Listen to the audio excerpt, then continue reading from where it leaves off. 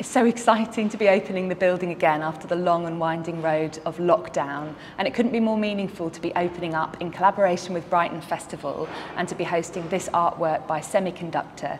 Halo is an immersive audiovisual installation that we created as a result of a residency we did at CERN, the particle physics laboratory in Geneva in Switzerland.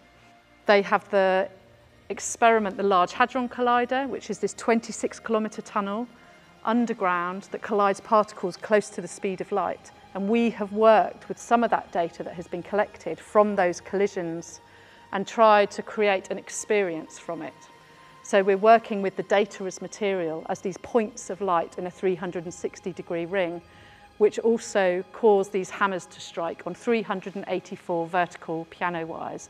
So you end up with synchronized sound and image. This project we developed with some of the scientists and some of the musicians working at Sussex University.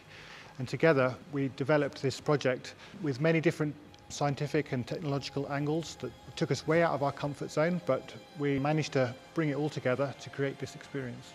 You don't need to know anything about the science to experience Halo.